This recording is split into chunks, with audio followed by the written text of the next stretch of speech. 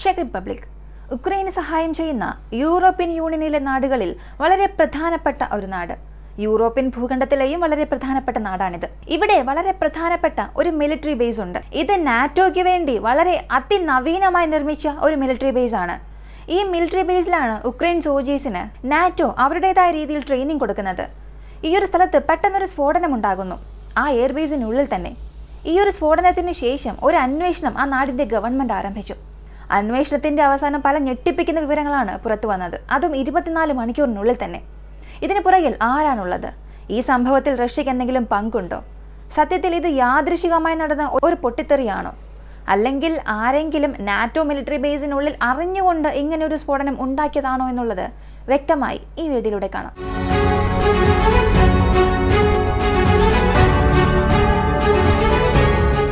എങ്ങനെയാണോ ഏഷ്യൻ കോണ്ടിനെന്റിൽ അഫ്ഗാനിസ്ഥാൻ ഒരു ലാൻഡ് ലോക്കഡ് കൺട്രി മംഗോളിയ ഒരു ലാൻഡ് ലോക്കഡ് കൺട്രി അതുപോലെയാണ് യൂറോപ്യൻ റീജിയണിൽ ചെക്ക് റിപ്പബ്ലിക്കും ഒരു ലാൻഡ് ലോക്കഡ് കൺട്രിയാണ് അതിനെ ചുറ്റി പോളണ്ട് ജർമ്മനി സ്ലോവാക്യ ഹംഗേരി ഇങ്ങനെ ചെക്ക് റിപ്പബ്ലിക്കിനെ ചുറ്റി ഒരുപാട് വലിയ നാടുകളും ചെറിയ നാടുകളുമുണ്ട്. ഈ ചെക്ക് റിപ്പബ്ലിക് നാറ്റോയിൽ ചേർന്നതിന് ശേഷം പല മിലിറ്ററി ഇൻഫ്രാസ്ട്രക്ചർ പല ഘട്ടമായി ഇവിടെ നിർമ്മിച്ചിട്ടുണ്ട്.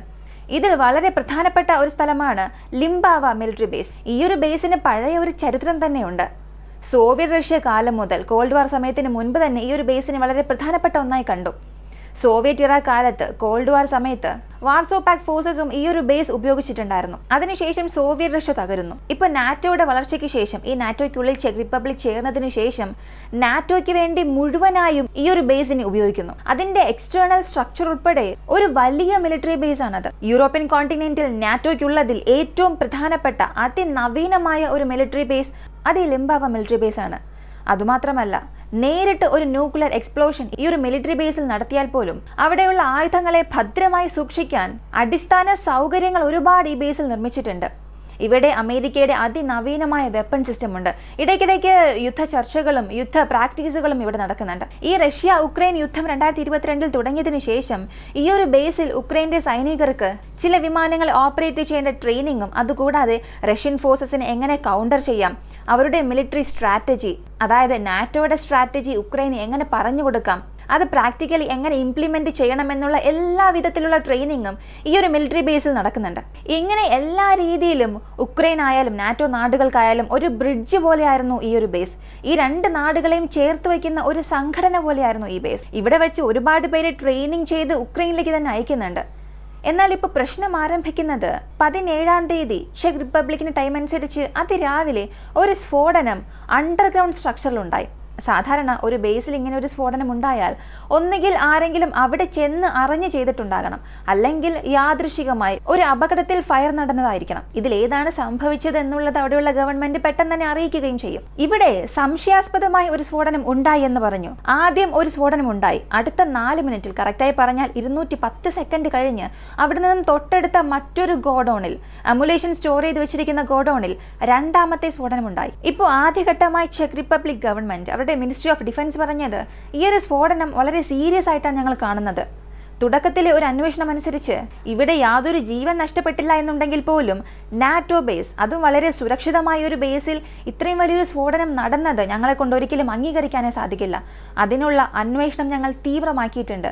മുഴുവനായും അന്വേഷിച്ച് അവസാനിപ്പിച്ചതിനു ശേഷം ഇതിന് പുറകിലുള്ള കാരണങ്ങളും അതിന് പുറകിലുള്ള ആളുകളെയും ആരാണെന്ന് അറിയിക്കുമെന്ന് ആദ്യത്തെ റിപ്പോർട്ട് വന്നു. ഇപ്പോൾ നമുക്ക് ഈ ഒരു സ്ഥലത്ത് സംശയം വരുന്നത് രണ്ട് എക്സ്പ്ലോഷൻ സംഭവിച്ചു. ഈ രണ്ട് എക്സ്പ്ലോഷനും രണ്ട് മുറികൾ അല്ലെങ്കിൽ തൊട്ടടുത്തുള്ള രണ്ട് ഗോഡൌൺസിൽ ഉണ്ടായിരുന്നുണ്ടെങ്കിൽ വലിയ രീതിയിലുള്ള പ്രശ്നങ്ങളൊന്നും ഇല്ലായിരുന്നു.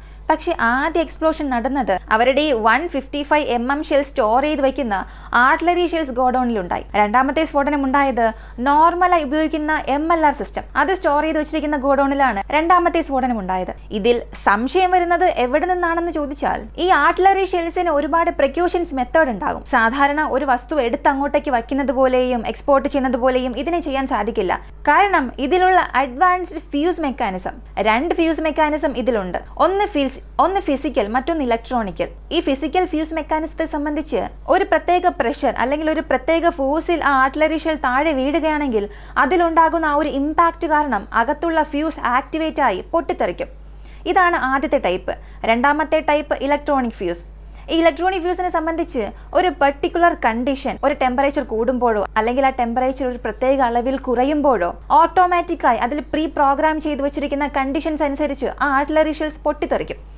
ഇതിൽ ഏതെങ്കിലും കണ്ടീഷനിലാണോ ഈ ആദ്യത്തെ സ്ഫോടനം ഉണ്ടായത് എന്ന് നോക്കിയാൽ ചെക്ക് റിപ്പബ്ലിക് ഒരു കാര്യം കൺഫേം ചെയ്തു. ഇന്റേണൽ എക്സ്പ്ലോഷൻസ് ഒന്നും തന്നെ സംഭവിച്ചിട്ടില്ല. ഫോറിൻ സബ്സ്റ്റൻസ് വഴി അതായത് എക്സ്റ്റേണൽ എക്സ്പോഷൻ വഴിയാണ് ഈ ഒരു സ്ഫോടനം നടന്നത് എന്ന്. ഇപ്പോൾ ഒരു കാര്യം വ്യക്തമായി. അകത്തുള്ള ആർട്ടിലറി ഷെൽ ഫിസിക്കലി ഹാൻഡ്ലിംഗ് ആയോ അല്ലെങ്കിൽ അവിടെയുള്ള ഫിസിക്കൽ കണ്ടീഷൻസ് കാരണമോ പൊട്ടിത്തെറിച്ചിട്ടില്ല. മൂന്നാമത്തെ ഏതോ ഒരു സബ്സ്റ്റൻസ് ഇവിടെ ഈ ഒരു എക്സ്പ്ലോഷൻ ഉണ്ടാക്കിയിട്ടുണ്ട്. ഇതേ കണ്ടീഷൻ തന്നെയാണ് രണ്ടാമത്തെ അമ്യൂഷൻ ഗോഡണിലുണ്ടായ സ്ഫോടനത്തിലും പറഞ്ഞിട്ടുള്ളത്. ഇന്റേണലായി യാതൊരു എക്സ്പ്ലോഷനും ആ ഒരു സ്ഥലത്ത് നടന്നിട്ടില്ല. ഇതെല്ലാം കൂട്ടി വായിക്കുമ്പോൾ നിങ്ങൾക്ക് ഒരു കാര്യം മനസ്സിലായിട്ടുണ്ടാകും. ആ ഒരു സ്ഥലത്ത് യാദൃശികമായി ഒന്നും തന്നെ സംഭവിച്ചിട്ടില്ല. അതും വളരെ സീരിയസ് ആയ ആദ്യത്തെ സ്ഫോടനം നടന്ന നാലാമത്തെ മിനിറ്റ് കഴിഞ്ഞ് വീണ്ടും ഒരു സ്ഫോടനം നടന്നു. അങ്ങനെയാണെങ്കിൽ അകത്ത് ആരോ കയറി എന്തോ ചെയ്തിട്ടുണ്ട്. ഇപ്പോൾ ഒരുപാട് പേർ സംസാരിക്കാൻ തുടങ്ങിയത് അതായത് ഈ ചെക്ക് റിപ്പബ്ലിക്കിൽ നിന്നും ഇങ്ങനെ ഒരു സ്ഫോടനത്തിന്റെ വിവരം പുറത്തു വന്നതിന് ശേഷം ഒരുപാട് പേർ സംസാരിക്കാൻ തുടങ്ങിയത് റഷ്യയുടെ ചാരന്മാർ ചെക്ക് റിപ്പബ്ലിക്കിന്റെ ബേസിനുള്ളിൽ അതായത് നാറ്റോ ഓപ്പറേറ്റ് ചെയ്യുന്ന ഉക്രൈൻ സോൾജേഴ്സിന് ട്രെയിനിങ് കൊടുക്കുന്ന ആ ഒരു ബേസിനുള്ളിൽ കയറിയിട്ടുണ്ട്. അങ്ങനെ നുഴഞ്ഞു കയറി അവർ വലിയൊരു എക്സ്പ്ലോഷന് പദ്ധതിയിട്ടു. പക്ഷെ അവർ അതിന് തോൽക്കുകയും ചെയ്തു എന്ന് മറ്റൊരു ഭാഗത്ത് അതേ ചെക്ക് റിപ്പബ്ലിക്കിലുള്ള പല റിപ്പോർട്ടേഴ്സ് പറയാൻ തുടങ്ങി. എന്നാൽ ഇതിൽ ഒരു കാര്യവും ചെക്ക് റിപ്പബ്ലിക് കൺഫേം ചെയ്തിട്ടില്ല. ഒരു കാര്യം ഒഴികെ ഞങ്ങളുടെ ബേസിനുള്ളിൽ എക്സ്പ്ലോഷൻ നടന്നു. അതും ഇന്റേണൽ എക്സ്പ്ലോഷൻ നടന്നിട്ടില്ല. മറ്റേതോ തേർഡ് സബ്സ്റ്റൻസ് വഴി ഒരു എക്സ്പ്ലോഷൻ നടന്നിട്ടുണ്ട്. ഇതിനായിട്ടുള്ള അന്വേഷണം ഞങ്ങൾ നടത്തുന്നുണ്ട് എന്ന്. ശരി ഈ ഒരു ബേസിനെ തകർത്താൽ റഷ്യക്ക് എന്താണ് പ്രയോജനം? ഒരു പക്ഷേ ഇത് റഷ്യയാണ് ചെയ്തതെന്നുണ്ടെങ്കിലും അവർക്ക് അതുകൊണ്ട് എന്ത് ഗുണമാണ് ഉണ്ടാവുക എന്ന് ചോദിച്ചാൽ ഇതൊരു ഹബ്ബാണ്. ഈ ഒരു മാപ്പ് നോക്കിയാൽ നിങ്ങൾക്ക് മനസ്സിലാകും.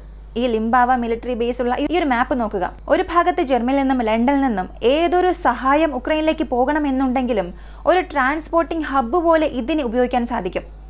നാറ്റോ നാടുകൾക്ക് നാളെ ഒരു പ്രശ്നം വരികയാണ്. റഷ്യയെ അറ്റാക്ക് ചെയ്യണം. റഷ്യയുടെ അതിർത്തിയിൽ ഉടൻ തന്നെ ആയുധം കൊണ്ട് നിർത്തണമെന്നുണ്ടെങ്കിൽ അതിന് വളരെ പ്രധാനപ്പെട്ട ലോജിസ്റ്റിക്സ് ഹബ്ബായി പ്രവർത്തിക്കാൻ പോകുന്നത് ഈ ഒരു മിലിറ്ററി ബേസ് ആണ്. അതുകൊണ്ടാണ് അതിലുണ്ടാകുന്ന അതുകൊണ്ടാണ് അതിലുണ്ടായ ഒരു സ്ഫോടനം നാറ്റോ നാടുകളിൽ വലിയൊരു ചർച്ചാ വിഷയമായത്. ഇത് ആര് ചെയ്തിരിക്കും എങ്ങനെ ചെയ്തിരിക്കും എന്നുള്ളത് ചെക്ക് റിപ്പബ്ലിക് ഇതുവരെയും പറഞ്ഞില്ല. ഒരു പക്ഷേ ഇത് റഷ്യയുടെ ചരന്മാർ ചെയ്തിട്ടുണ്ടെങ്കിലും അത് ചെക്ക് റിപ്പബ്ലിക് ഓപ്പണായി പറയില്ല. നാറ്റോയുടെ എയർബേസിനുള്ളിൽ കടന്ന് റഷ്യയുടെ ചാരന്മാർ ഇങ്ങനെ ചെയ്തു എന്ന് അവർ ഒരിക്കലും തുറന്ന് പറയില്ല. അങ്ങനെ പറഞ്ഞാൽ നാറ്റോയിലുള്ള പല നാടുകൾക്ക് അത് വലിയ പ്രശ്നമായി മാറും. അതെങ്ങനെ പ്രശ്നമാകും? ഒരു നാടിനെ പറഞ്ഞാൽ മറ്റു നാടുകൾക്ക് അത് എങ്ങനെ പ്രശ്നമുണ്ടാകും എന്ന് ചോദിച്ചാൽ എല്ലാ നാടുകളിലും ഇപ്പോൾ ചാരന്മാരുണ്ട്. റഷ്യയുടെ ചാരന്മാർ നാറ്റോയ്ക്കുള്ളിലും നാറ്റോയുടെ ചാരന്മാർ റഷ്യയ്ക്കുള്ളിലും ഉണ്ടാകും. ഇങ്ങനെ ഒരു സാഹചര്യത്തിൽ എന്തെങ്കിലും ഒരു സംഭവം നടന്നു എന്നുള്ള വാർത്ത വന്നാൽ ഇന്ന സ്ഥലത്ത് ഒരു എക്സ്പ്ലോഷൻ നടന്നു എന്നുള്ളൊരു അറിയിപ്പ് വന്നാൽ അടുത്ത പത്ത് ദിവസത്തേക്ക് രണ്ട് മൂന്ന് വാർത്ത ഇതേ പാറ്റേണിൽ വരും. ഉദാഹരണത്തിന് ഒരു എസ് യു തേർട്ടി ഫോറിനെ ഉക്രൈൻ നശിപ്പിച്ചു. അടുത്ത ഒരാഴ്ചത്തേക്ക് ഈ എസ് യു തേർട്ടി ഫോറിനെ കുറിച്ചുള്ള വാർത്തകളായിരിക്കും വരിക. പുതിയ പുതിയ വാർത്തകളിൽ ഈ എസ് യു തേർട്ടി ഫോറിനെയും വലിച്ചിടും. അതുപോലെ ഇത് റഷ്യ ചെയ്തു എന്നുണ്ടെങ്കിൽ അടുത്ത പത്ത് ദിവസത്തിനുള്ളിൽ ഇതുപോലൊരു സംഭവം വീണ്ടും റിപ്പീറ്റ് ആക്കാൻ ചാൻസ് ഉണ്ട്. അത് നാറ്റോയ്ക്കുള്ളിൽ നാറ്റോ നാടുകൾക്കുള്ളിൽ വലിയൊരു ഭയമുണ്ടാക്കും. ഇത് റഷ്യയുടെ ചാരന്മാർ ചെയ്തു എന്ന് ചെക്ക് റിപ്പബ്ലിക്കിലെ ഒരുപാട് പേർ വിശ്വസിക്കുന്നുണ്ട്. നിങ്ങൾ തന്നെ പറയുക ഇത് ആര് ചെയ്തിട്ടുണ്ടാകും? സത്യത്തിൽ ഇത് യാദൃശികമായി നടന്നിട്ടുണ്ടാകുമോ? നിങ്ങൾ ഉക്രൈനെ ട്രെയിനിങ് കൊടുക്കുമോ?